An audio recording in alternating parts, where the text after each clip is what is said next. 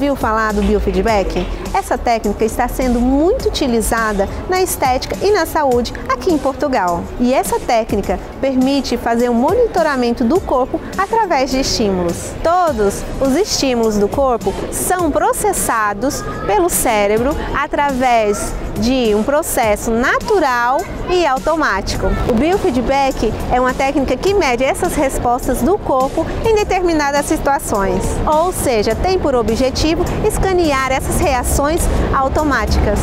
Existem diferentes formas de medir as reações do corpo e o biofeedback é uma delas.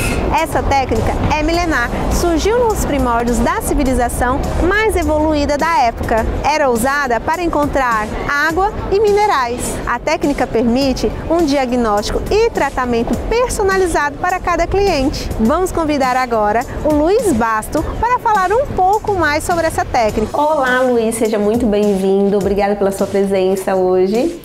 Obrigado, Vanessa. Eu é que agradeço aqui o convite para poder falar sobre o biofeedback. Luiz, conta pra gente o que é o biofeedback. Pois então, o biofeedback é uma técnica que é usada tanto para diagnóstico como para tratamento, na área da saúde, na área da estética, na área das terapias naturais. E como ele funciona?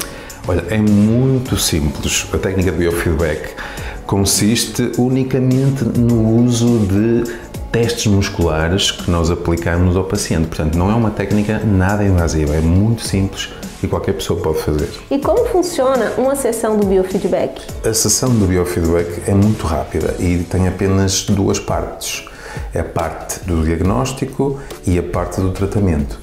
E eu, com as técnicas de biofeedback, faço o diagnóstico, pergunto que partes do corpo estão a necessitar ou estão carentes de algum mineral, alguma vitamina, e depois, na parte do tratamento, eu faço a aplicação do estímulo que o corpo corrigiu para processar o outro estímulo ao qual o corpo respondeu negativamente. Como podemos usar o biofeedback na estética? O biofeedback na estética pode ser usado de várias formas.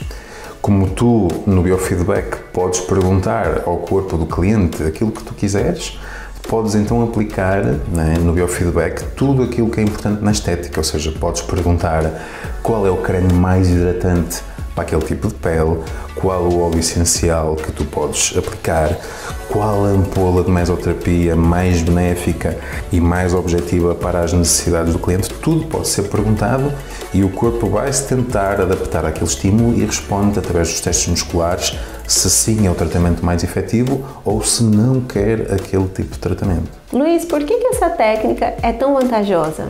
Vanessa, esta técnica é muito vantajosa a nível da aplicação na área da estética, porque aqui o paciente não vai ter que seguir protocolos.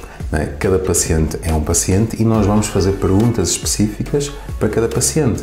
Por exemplo, um paciente que apareça com um acne, por exemplo, nós podemos perguntar ao corpo qual a origem daquele acne, se é uma carência nutritiva, se é um problema alimentar, se é um problema intestinal, se é um problema do fígado. Nós podemos testar tudo, ou seja, não seguimos protocolos e cada paciente tem um tratamento diferente para o tipo de doenças que aparecem no consultório. Existe algum tipo de cuidado especial após a sessão do biofeedback?